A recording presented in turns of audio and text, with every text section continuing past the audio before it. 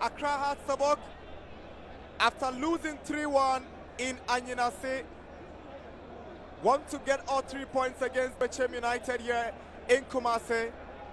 But Bechem United will not relent. And this early cross from Owusu got the goalkeeper fumbling and they were gifted with the first goal, Hafiz Konkoni. What a mistake. You don't do that in top flight games like this. And Hafiz will punish Theophilus Jackson.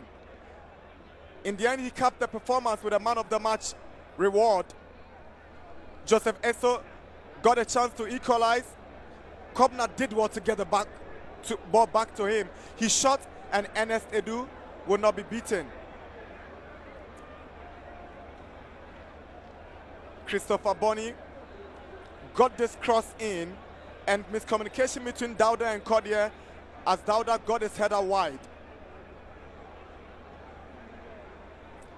Kobna's visionary pass found Fatal, went past Yao Abochi, saw Esso coming, and Dan Arjun, good defending from the Bechem number six.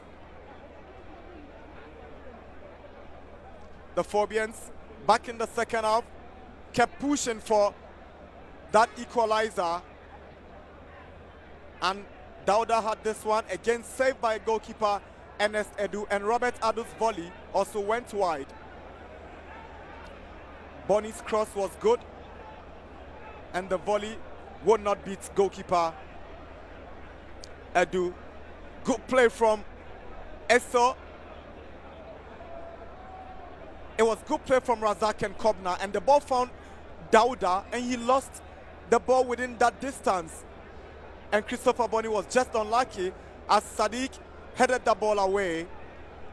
Ejari found Dauda with this one.